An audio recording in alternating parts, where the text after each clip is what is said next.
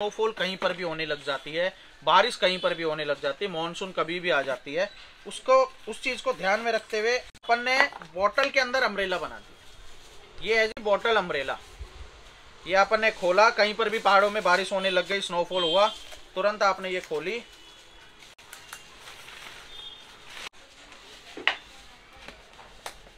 ये देखो आपकी छतरी तैयार। और इसके अंदर कलर हिंदुस्तान में जितने कलर बनते हैं ना लाल नीला पीला हरा गुलाबी सतरंगी डेढ़ सौ कलर के अंदर ये छतरी है। बॉटल अम्ब्रेला के नाम से आती है। अपनी पानी की पानी पियो इसके अंदर और छतरी की आपकी छतरी तैयार है।